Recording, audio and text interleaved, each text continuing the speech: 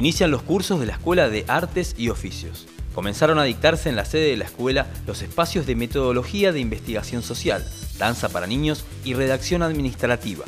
La escuela tiene previsto llevar adelante más de 40 cursos de oficios con salida laboral y de capacitación docente durante este año, tanto en Santiago Capital como en otras 13 localidades de la provincia. Los interesados pueden acercarse a las oficinas del PECUNCE para consultar inscripciones y programas de clases. La orquesta UNCE se presentó en la localidad de Brea Pozo. Por iniciativa del director de la Orquesta Estable de la UNCE, junto a la coordinación de la Secretaría de Extensión Universitaria, se llevó a cabo la primera presentación del conjunto de músicos en el interior provincial. En la iglesia de Montserrat de la localidad de Brea Pozo, la orquesta ofreció un concierto con un variado repertorio de música clásica que atrajo la atención y emocionó al público presente. Día del Investigador Científico.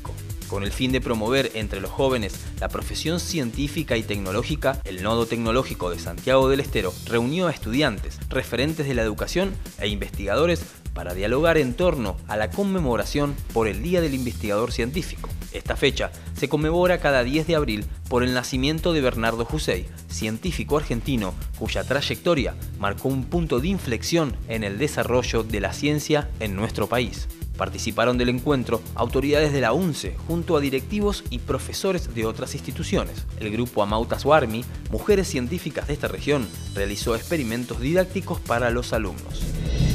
El CIN se pronunció por el caso Micaela. El Consejo Interuniversitario Nacional difundió un comunicado donde se expresó por el asesinato de Micaela García, la joven de 21 años que era estudiante del profesorado de Educación Física en la Universidad Autónoma de Entre Ríos.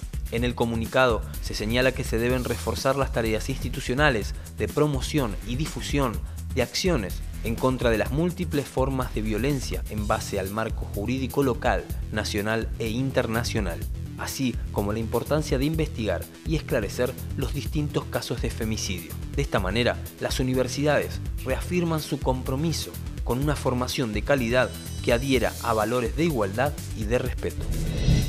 La Escuela de Emprendedores organiza capacitaciones. En conjunto con los centros de estudiantes de las facultades, se lleva a cabo distintas capacitaciones sobre emprendedorismo y marketing destinada a los alumnos de todas las carreras. La primera charla estuvo orientada a la razón de emprender, que contó con la presencia de Diego Noriega, creador de Alamaula, quien contó a los presentes sus vivencias con relación a su emprendimiento. Además, docentes de la escuela disertaron sobre las condiciones para emprender y el impacto que esta actividad genera. Las próximas actividades de la escuela son las cátedras de marketing y emprendedorismo para estudiantes y todo público e iniciarán a partir del 25 de abril.